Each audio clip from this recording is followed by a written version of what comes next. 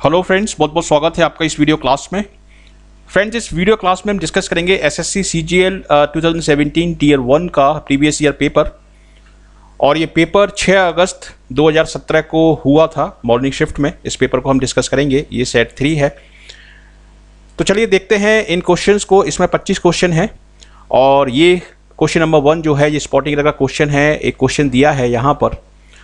और जैसा कि आप देख सकते हैं, ये चार पार्ट में डिवाइड है। तो इसमें आपको एरर वाला पार्ट देखना है जिसमें ग्रामेटिकल एरर हो। और यदि इस क्वेश्चन में कोई भी एरर आपको नहीं लगती है तो आपका आंसर होगा no error Chilka is the largest brackish water lagoon in Asia देखिए, एक क्वेश्चन है ये, चिल्का एक झील है उड़ीसा में, उसके बारे में है ये। और ये लार्जेस्ट ब्रैकिश का क्या अर्थ है? ब्रैकिश का अर्थ होता है जो सॉल्टी वाटर होता है, जिसमें नमक होता है। ठीक है, उसको हम बोलते हैं ब्रैकिश वाटर और लगून एक, जैसे जैसे झील होती है, झील के बगल में एक छोटा सा टुकड़ा होता है, ठीक है, उसको हम बोलते हैं लगून। और ये ज्योग्राफी का एक वर्ड है। तो लार्जेस्ट से पहले इसमें दा लगा हुआ है, जो कि सही है। Chilka is the largest brackish water brackish word जो है, वो भी सही है। इसमें लगून भी सही है। तो इस क्वेश्चन में आपका जो आंसर होगा, वो होगा डी यानी नो एरर ठीक है, चिल्का एक प्रॉपर नाउन है, इससे पहले दा हम नहीं लगाएँगे तो ये भी सही है। लार्जेस्ट से पहले यहाँ पर दा लगा हुआ है, जो कि सही है। ब्रैकिश जो वर्ड है, एक एडजेक्टिव की तरह काम कर रहा है, और वाटर एक नाउन है तो नाउन के बगल में ये आया है इसको क्वालिफाई करने के लिए। तो ये इसका कॉम्बिनेशन भी सही है लगून वर्ड भी सही है इन भी सही है, और एशिया से पहले हम दा नहीं लगाएँगे, क्योंकि ये प्रॉपर नाउन है।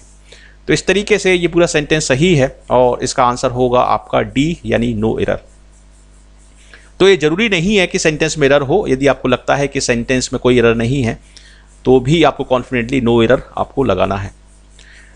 अब देखिए, ये है second question the climb upside the mountains was not easy अब हिस हम इसमें देखिए क्लाइम एक वर्ड है और क्लाइम को हम वर्ब की तरह भी यूज़ कर सकते हैं और नाउन की तरह भी यूज़ कर सकते हैं। लेकिन यहाँ पर किस तरीके से ये यूज़ हुआ है? देखिए, यहाँ पर एक वर्ड आया है easy the climb upside the mountain was not easy क्या चीज़ ईजी नहीं थी? ठीक है क्लाइम जो था वो ईजी नहीं था। तो क्लाइम जो वर्ड है, ये क्या है? ये एक नाउन की तरह यूज़ हो रहा है और इस नाउन की विशेषता बता रहा है कौन सा वर्ड इजी इजी क्या नहीं था? इजी क्लाइम नहीं था। ठीक है? तो चूँकि ये नाउन है और इसको नाउन की तरह ही हम यहाँ पर यूज़ कर रहे हैं तो इसका मीनिंग भी नाउन का ही निकलेगा। ठीक है? तो क्लाइम का मतलब क्या है? क्लाइम का मतलब होता है जैसे किसी घाटी पर आप चढ़ते हैं तो ऊपर की तरफ़ जो चढ़ाव होता है, ठीक है? उसको हम बोलते हैं क्लाइम और अपसाइड का मीनिंग भी लगभग सेम ही होता है तो इसलिए क्लाइम के साथ यहाँ पर अपसाइड वर्ड नहीं आएगा। The climb of the mountain आप बोल सकते हैं। क्लाइम ऑफ़ द माउंटेन मतलब पहाड़ का जो जो चढ़ाव था, जो ऊपर जाने वाला जो रास्ता था, ठीक है, वो इजी नहीं था, वो ऊबड़ खाबड़ था। The climb of the mountain was not easy तो अपसाइड जो वर्ड है यहाँ पर, ये एक्स्ट्रा है यहाँ पर। ठीक है? और फ़र्स्ट पार्ट में इसमें रर है तो इसका आंसर आपका होगा ए इस तरीके से इसको आपको समझना होता है। देखिए इंग्लिश में जो वर्ड्स होते हैं, वो एब्सोलूट मीनिंग में नाउन प्रोनाउन एडजेक्टिव नहीं होते। वो आपको देखना होता है कि किस वर्ड का, किस सेंटेंस में कहाँ पर कैसे यूज़ हो रहा है। एक वर्ड नाउन की तरह भी यूज़ हो सकता है वर्ब की तरह भी यूज़ हो सकता है और दूसरे किसी प्रोनाउन और दूसरे किसी पार्ट ऑफ़ स्पीच की तरह भी वो यूज़ हो सकता है। तो आपको ये देखना होता है कि वहाँ पर उसका कॉन्टेक्स्ट के अकॉर्डिंग मीनिंग क्या निकल रहा है और किस सेंस में वो यूज़ हो रहा है। तो यहाँ पर जो क्राइम वर्ड है वो नाउन की तरह यूज़ हो रहा है और इसको हमने कहाँ से समझा? इसको हमने समझा ईजी से, जो कि एक एडजेक्टिव है। तो एडजेक्टिव की मदद से हमने इसको समझा कि ये एक नाउन है और इसको हम यहाँ पर एक नाउन की तरह यूज़ कर रहे हैं। अब ये नेक्स्ट सेंटेंस है और ये फिलर्स का सेंटेंस है। एसएससी का जो पैटर्न होता है वो इसी तरीके से रहता है कि दो स्पॉटिंग एरर आएँगे, फिर दो सिनोनिम एंटोनिम आएँगे, फिर दो फिलर्स आएँगे, फिर दो सेंटेंस इंप्रूवमेंट आएँगे। इस तरीके से एसएससी में आपके क्वेश्चंस आते हैं और यहाँ पर डायरेक्शन वाला पार्ट इसमें मिसिंग है। क्योंकि ये पीपीटी है और इसमें इतनी, इतना स्पेस नहीं रहता है, इसलिए इसमें डायरेक्शन यहाँ पर आपको लिखे हुए मिलेंगे एसएससी एग्ज़ाम में। तो यहाँ पर डायरेक्टली क्वेश्चन को दिया गया है rituals play into the understanding of a society अब देखिए, यहाँ पर आपको एक फिलर भरना है, और अंडरस्टैंडिंग जो है वो नाउन है, लेकिन किस तरह की अंडरस्टैंडिंग ठीक है, देखिए, यहाँ पर फिर से वही मैं आपको एक्सप्लेन करने की कोशिश कर रहा हूँ। कि अंडरस्टैंडिंग यहाँ पर एक नाउन है तो नाउन को मॉडिफाई हम किससे करते हैं? नाउन को हम मॉडिफाई करते हैं एडजेक्टिव से। तो यहाँ पर आपको एक ऐसा वर्ड चाहिए जो एडजेक्टिव हो। ठीक है? नंबर एक तो आपको ऐसा एक वर्ड चाहिए जो एडजेक्टिव हो और ऐसा एडजेक्टिव चाहिए जो अंडरस्टैंडिंग नाउन के साथ मैच करे। ठीक है? ये दो चीज़ें आपको देखनी है। तो यहाँ पर देखिए टैक्टफुली तो एडवर्ब है और यहाँ पर आपको चाहिए एडजेक्टिव तो टैक्टफुली तो आएगा नहीं यहाँ पर। टेसिट और टेसिटर्न ये एडजेक्टिव हैं तो ये दोनों आ सकते हैं। टेसिट ली ये भी एक एडवर्ब की तरह काम कर रहा है, जिसमें एल वाई लगा रहता है, वो होते हैं एडवर्ब ठीक है? तो ये दोनों आपने एलिमिनेट कर दिए।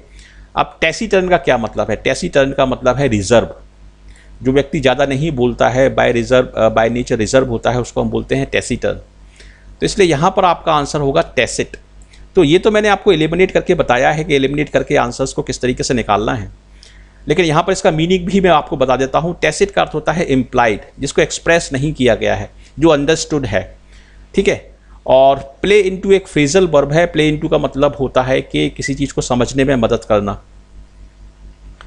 टू हेल्प सपोर्ट एक्चुअली इसका मतलब होता है किसी चीज़ को सपोर्ट करने में मदद करना।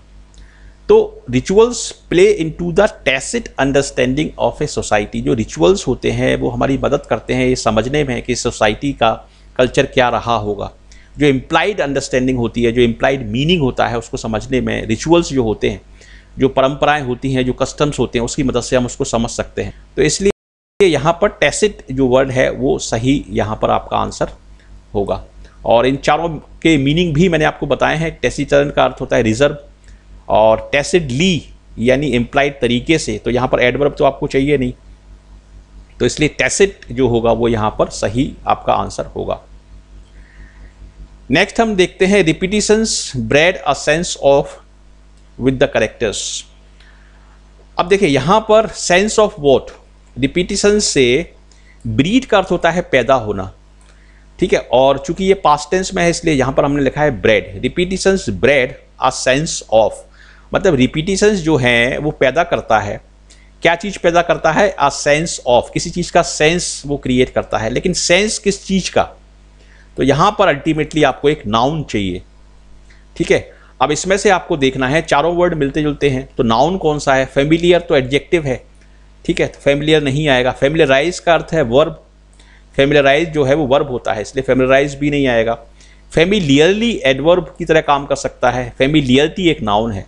तो यहाँ पर आपका आंसर होगा familiarity repetitions bred a sense of familiarity with the characters मतलब किसी चीज़ को आप यदि रिपीट करें, जैसे जैसे टीवी सीरियल्स होते हैं, उसमें एक ही करेक्टर बार बार आता है तो उससे हम फेमिलियर हो जाते हैं, उस के साथ हम फेमिलियर हो जाते हैं, क्योंकि वो करेक्टर बार बार रिपीट किया जाता है। तो ये सेंटेंस का मतलब है तो यहाँ पर चूँकि नाउन आपको चाहिए, और नाउन है इसमें फेमिलियरिटी तो इसलिए इसका आंसर होगा आपका ए इस तरीके से इन क्वेश्चंस को करना है। नेक्स्ट हम देखते हैं सिमिलर वर्ड ये सिनोनिम आते हैं प्री में दो आते हैं और मीन्स में करीब दस या बारह आते हैं। इनसेंस्ड का क्या अर्थ है? इनसेंस्ड का अर्थ होता है बहुत ही ज़्यादा गुस्से में होना, जिसको हम इन्फ्यूरिएटेड भी बोलते हैं।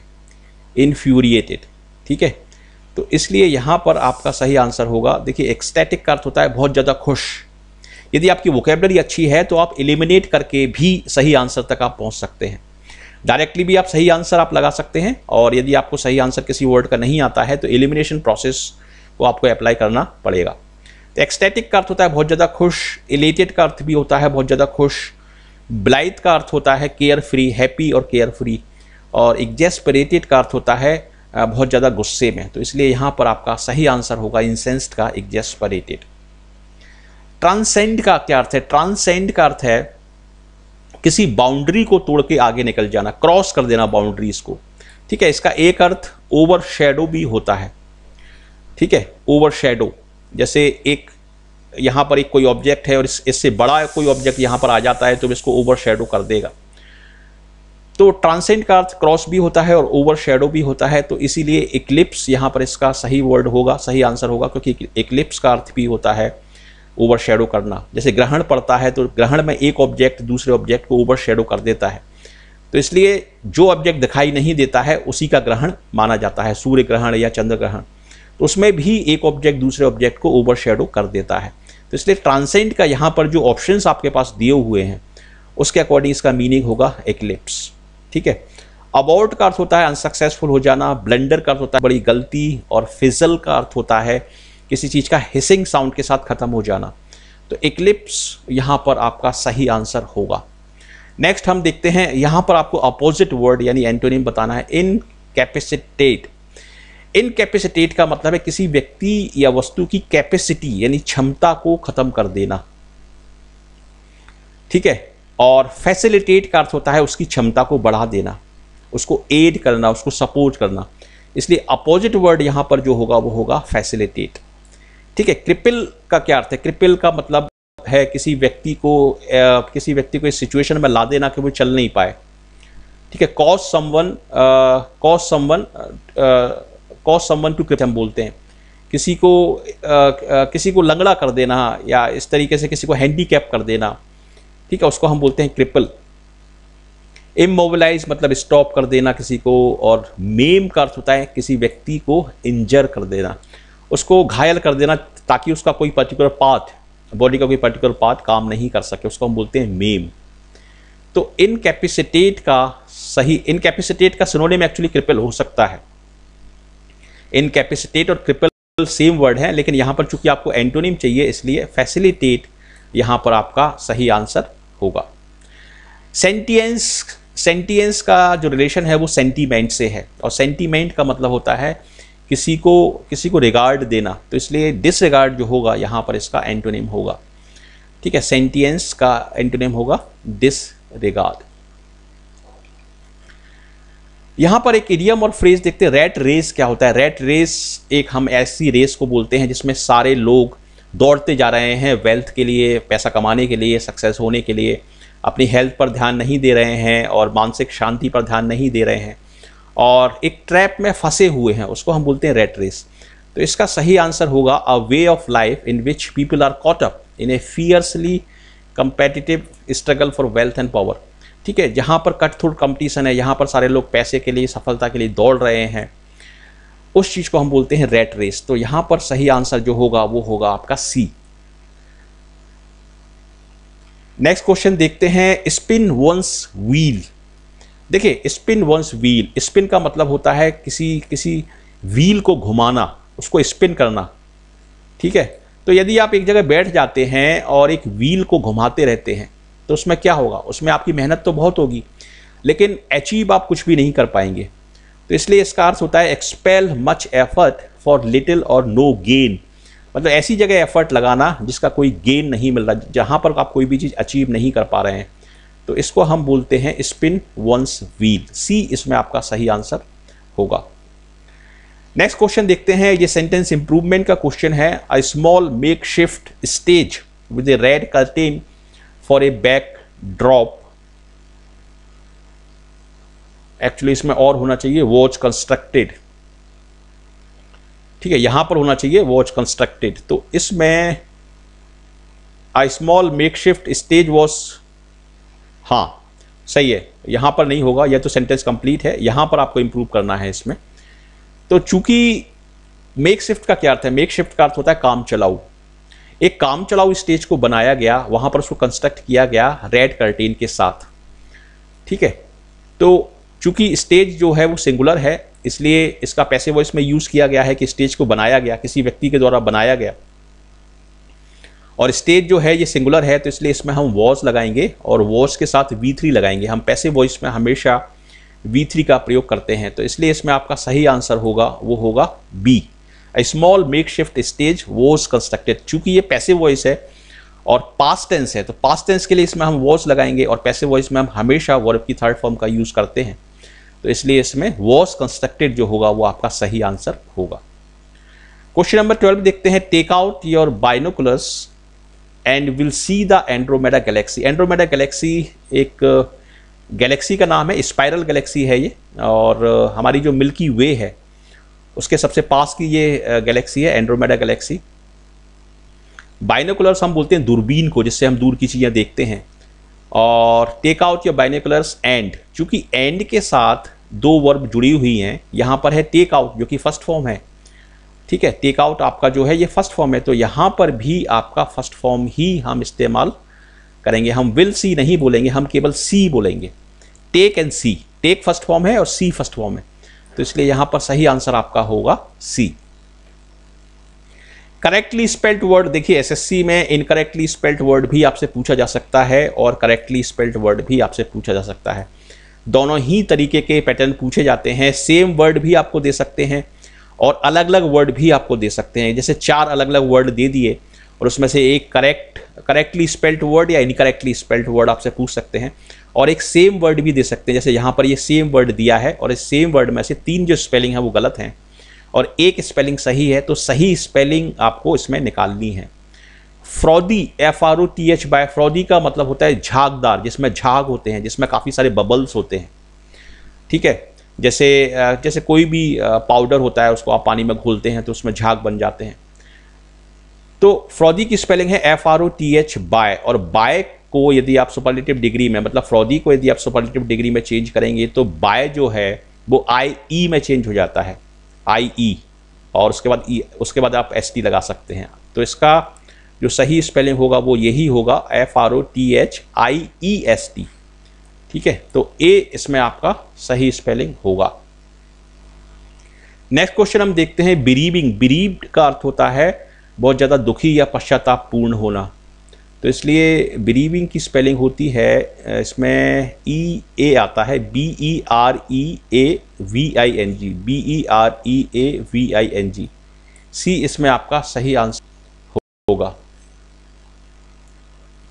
ये वन वर्ड सब्सटीट्यूशन है टेक अवे और alter the natural quality of something किसी चीज़ की नेचुरल क्वालिटी को बदल देना, उसको ऑल्टर कर देना, उसको चेंज कर देना, उसको हम बोलते हैं डी नेचर डी नेचर यहाँ पर आपका सही आंसर होगा। अनऑडल्ट्रेड मतलब जिसमें प्रदूषण नहीं है मतलब जो सही है, शुद्ध है। ऑथेंटिक मतलब सही लिम्पिड हम लिक्विड के लिए इस्तेमाल करते हैं, जो ट्रांसपेरेंट होता है और क्लियर होता है, उसके लिए हम इस्तेमाल करते हैं। तो डी नेचर जो होगा यहाँ पर इसका सही आंसर होगा। नेक्स्ट हम देखते हैं decay of organic matter producing a fetid smell fetid smell मतलब बहुत ही अनप्लीजेंट स्मेल बहुत ही बेकार स्मेल कोई चीज़ डिके हो जाती है और उसमें से बहुत बेकार स्मेल आती है तो उसको हम क्या बोलते हैं? उसको हम बोलते हैं putrefy putrefy will be the right answer here putrefy crisp का अर्थ होता है कुरकुरा, जैसे बिस्किट्स होते हैं। न्यूटेरिक मतलब नया या रीसेंट और वर्जिन मतलब जो एकदम फ्रेश है। जिस वर्जिन हम वर्जिन का अर्थ होता है, कोई भी चीज़ को हम वर्जिन तब बोलेंगे जब उसको, जो पूरी तरीके से अनटच्ड है। ठीक है? तो प्यूट्रीफाई यहाँ पर सही आंसर होगा। पैरा जंबल के ये कुछ क्वेश्चंस हैं। ये हम पेपर सॉल्व कर रहे हैं 6 अगस्त 2017 का मॉर्निंग शिफ्ट का ये पेपर है सीजीएल का। तो इसमें देखिए अलग अलग पैटर्न में पूछते हैं, कभी चार सेंटेंस देते हैं, कभी तीन सेंटेंस देते हैं, इसमें तीन सेंटेंस दिए हैं और एक वाला पार्ट ऊपर दिया है। इसके साथ आपको लिंक करना है इससे। We have seen that when पहला सेंटेंस में यही होगा when we deny that a mental image नहीं नहीं, यहाँ से नहीं बनेगा ये। We have we have seen that when when we deny that a mental image can occupy any portion of space we need not think of हाँ सही है। इसी से बन जाएगा ये। We have seen that when we when we deny that a mental image can के बाद वर्ब की फ़र्स्ट फॉर्म चाहिए तो ऑक्यूपाई वर्ब की फ़र्स्ट फॉर्म हो जाएगी तो सेकेंड सेंटेंस ये बन जाएगा। When we deny that a mental image can occupy any portion of space we need not need not के बाद वर्ब की फ़र्स्ट फॉर्म चाहिए तो थिंक यहाँ पर वर्ब की फ़र्स्ट फॉर्म हो जाएगी। We need not think of it as losing it parts and shrivelling to a point तो यही इसमें आपका सही ऑप्शन होगा जेड बाय और एक्स जेड बाय और एक्स यानी डी इसमें आपका सही आंसर होगा। Another major difference another major difference मतलब एक और मेजर डिफरेंस लेकिन किस चीज़ का डिफरेंस की बात कर रहे हैं हम? Another major difference in comparison with the solar solar के साथ सिस्टम वर्ड जुड़ जाएगा। तो इसमें फ़र्स्ट ये हो जाएगा सेकंड ये हो जाएगा, और packing of the seven packing of the seven भी मीनिंगफुल है। तो यहाँ पर यही आपका आंसर हो जाएगा जेड बाय और एक्स, जेड बाय और एक्स। ठीक है, इसमें भी आपका आंसर होगा D. Another major difference in comparison with the solar solar के साथ सिस्टम जुड़ जाएगा। Solar system is the tight packing of the tight packing किस चीज़ की? सेवन प्लैनेट्स की। तो टाइट पैकिंग के साथ सेवन प्लानिट जुड़ रहा है इसमें और सोलर के साथ सिस्टम जुड़ रहा है। तो इस तरीके से लॉजिकली आपको इन सेंटेंसेस को कनेक्ट करना होता है। ये आपका एक्टिव पैसिव वॉइस है। एक्टिव पैसिव वॉइस का एक सेंटेंस आया है ये। The homeowners remodelled the house to help it sell ठीक है, इस तरह के सेंटेंसेस में एक्टिव पैसिव वॉइस में सबसे ज़्यादा इंपॉर्टेंट होता है सब्जेक्ट उसके बाद वर्ब और उसके बाद ऑब्जेक्ट यदि आप इन तीनों चीज़ों को आइडेंटिफाई कर लेते हैं तो उसके बाद आपका काम बहुत आसान हो जाता है। ठीक है, क्योंकि एक्टिव से पैसिव में जब आप चेंज करते हैं तो सब्जेक्ट ऑब्जेक्ट बन जाता है और ऑब्जेक्ट सब्जेक्ट बन जाता है। इसलिए आपके लिए बहुत ज़रूरी है आइडेंटिफाई करना कि कौन सा एलिमेंट जो है वो ऑब्जेक्ट है। ठीक है? क्योंकि ऑब्जेक्ट यदि आपने निकाल लिया तो उसको आप वहीं से सेंटेंस शुरू होगा। एक्टिव वॉइस का जो ऑब्जेक्ट होगा वो पैसे वॉइस का सब्जेक्ट होगा। तो सबसे पहले तो आपको ये देखना है कि ये जो सेंटेंस मिला है आपको एग्ज़ाम में, ये एक्टिव वॉइस है या पैसे वॉइस है? और उसके बाद एक्टिव वॉइस है तो पैसे वॉइस में चेंज करना है पैसे वॉइस है तो एक्टिव वॉइस में चेंज करना है। पैसिव वॉइस में, पैसिव वॉइस की सिंपल सी पहचान होती है कि उसमें एक एजेंट रहता है बाय के साथ जो जुड़ा रहता है। ठीक है? और एक्टिव वॉइस में जो डूअर होता है, वो खुद ही वहाँ पर काम करता है। The home owners remodelled the house. The home owner क्या है इसमें? सब्जेक्ट है। रीमॉडल्ड क्या है? वर्ब है। हाउस क्या है? ऑब्जेक्ट है। तो ऑब्जेक्ट क्या हुआ इसमें? ऑब्जेक्ट हुआ हाउस। ये हुआ आपका वर्ब। ये क्या हुआ आपका सब्जेक्ट? तो सेंटेंस आपका जो स्टार्ट होगा, वो हाउस से स्टार्ट होता, होगा। ठीक है? और ये जो पाथ है टू हेल्प इट सेल ये आप एंड में आप जोड़ सकते हैं। और ये सेंटेंस एक्टिव है कि पैसिव है? ये सेंटेंस एक्टिव वॉइस है, क्योंकि पैसिव वॉइस में हम वॉज़ और वर्क के साथ या एजेएमआर के साथ वर्क की थर्ड फॉर्म का यूज़ करते हैं। इसके अलावा पैसिव वॉइस में बाय लगा रहता है। बाय एजेंट होता है एक, ठीक है? तो इसमें बाय भी नहीं है, इसमें एजेएमआर भी नहीं है। तो इसलिए ये एक्टिव वॉइस है और एक्टिव वॉइस कौन सा है? ये पास्ट टेंस है ये, क्योंकि वर्ब की सेकेंड फॉर्म का प्रयोग हमने यहाँ पर किया है। तो इसलिए ये पास्ट टेंस है। तो पास्ट टेंस को दिखाने के लिए हम क्या लगाएँगे? वॉज़ लगाएँगे। और वॉज़ जो है, वो केवल एक ही सेंटेंस में है। मतलब वॉज़ और हाउस क्योंकि सेंटेंस हाउस से स्टार्ट होगा, और हाउस दो सेंटेंस में है, और दो में से एक में ही वॉज़ है। ठीक है? तो इसलिए आपका उत्तर निकल के आ गया a the house was modelled remodelled by the home owners to help it sell मतलब हाउस को रीमॉडल्ड किया गया था ताकि इसको आसानी से बेचा जा सके। ये इसका अर्थ है। यहाँ पर ये नरेशन का एक क्वेश्चन है। She ask Ravi what is worrying you ठीक है? तो ये डब्ल्यू एच का एक क्वेश्चन है। यहाँ पर इसमें कनेक्टर जो होगा वो कुछ नहीं आएगा। और इस सेंटेंस को हम व्हाट इज़ वरी यू को हम अफर्मेटिव में लिखेंगे। तो आस्क्ड का तो आस्ट ही रहेगा, Ravi asked, she asked Ravi what is की जगह वॉट वॉज़ आएगा इसमें एक्चुअली तो इसमें आपका आंसर होगा ये वाला। नहीं फोर्थ होगा इसमें, she asked Ravi what was worrying him ठीक है? तो इसमें आपका आंसर ये वाला होगा, she ask Ravi what was लेकिन इसमें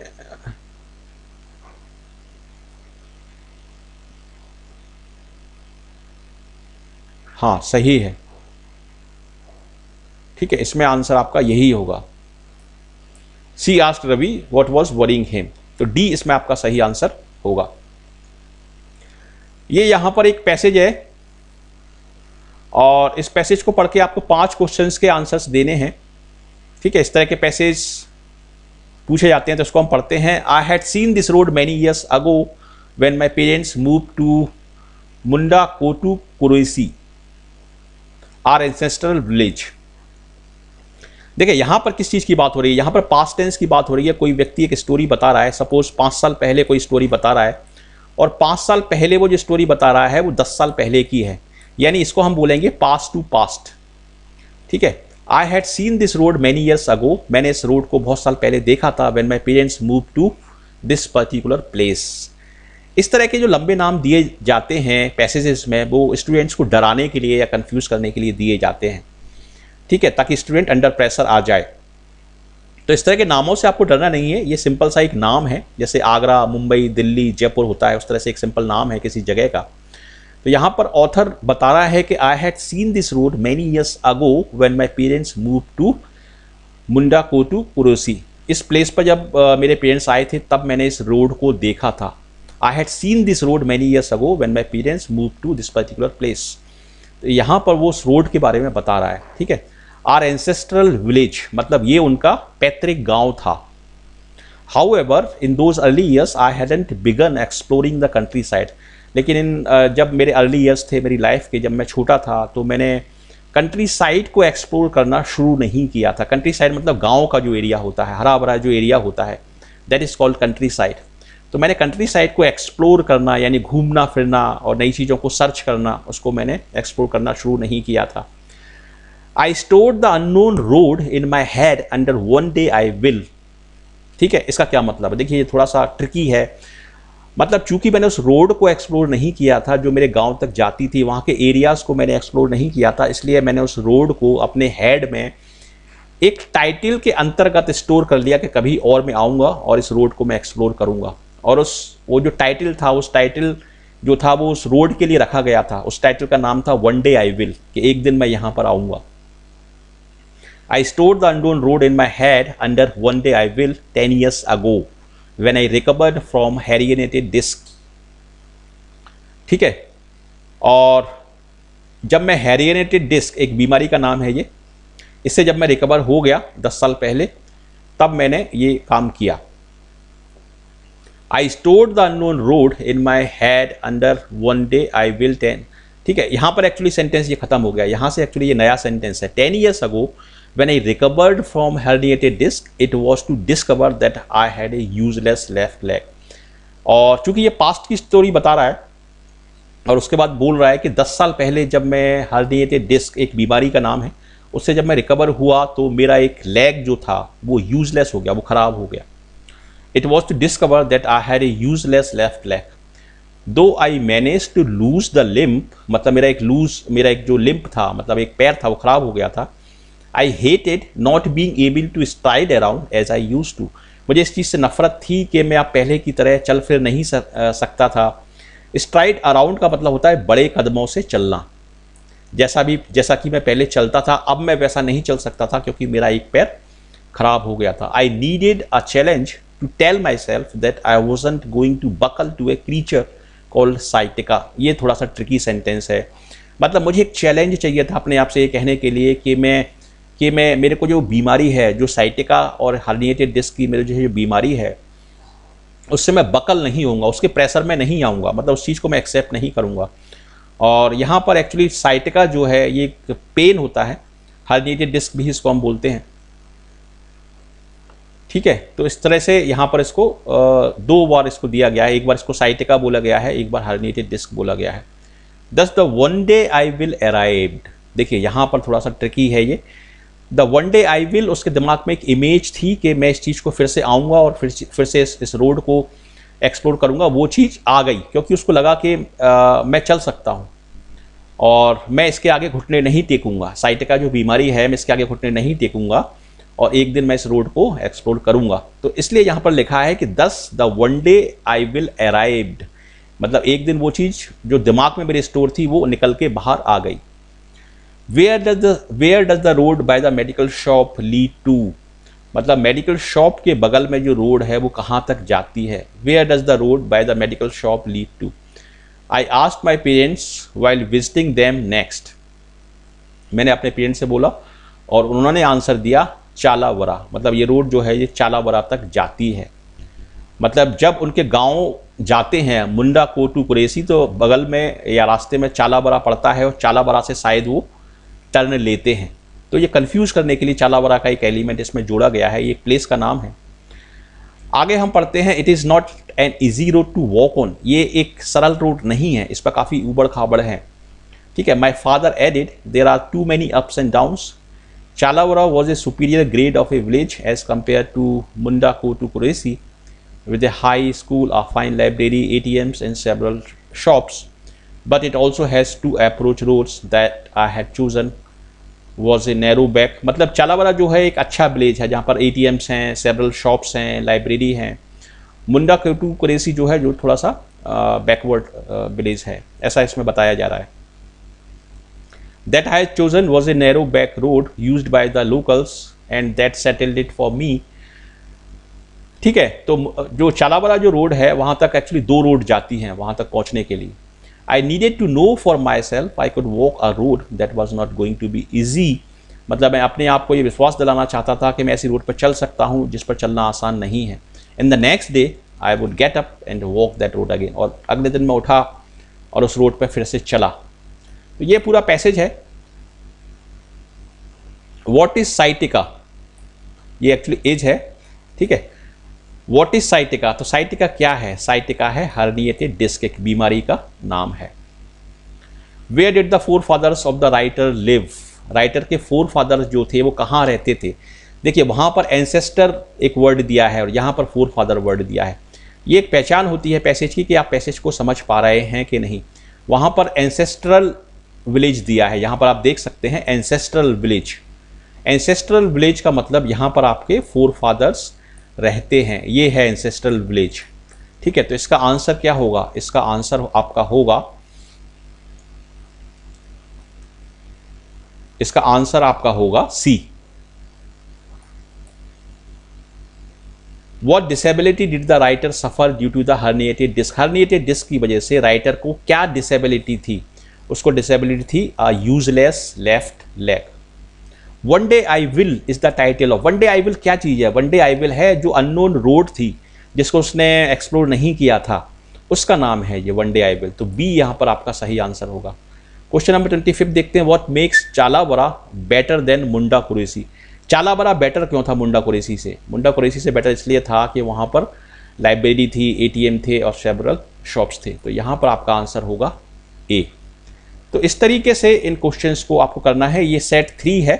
और ये 6 अगस्त 2017 का पेपर है मॉर्निंग शिफ्ट का। इसी तरीके से आगे भी आपको पेपर्स आपको इस ई कोर्स में और टारगेट बैच में आपको मिलते रहेंगे। तो इनकी इनकी मदद से आपको एक एक एक रफ आइडिया होगा कि किस तरीके के क्वेश्चंस आपके C G L tier one और टीयर टू में पूछे जा सकते हैं। और इस तरह के क्वेश्चंस की काफ़ी ज़्यादा प्रैक्टिस में आपको कर पाऊँगा कोई भी आप फीडबैक देना चाहते हैं तो इस ईमेल आईडी पर आप दे सकते हैं और यहाँ पर जो व्हाट्सएप नंबर और जो कॉन्टैक्ट नंबर है, उसके थ्रू आप उससे कॉन्टैक्ट भी कर सकते हैं।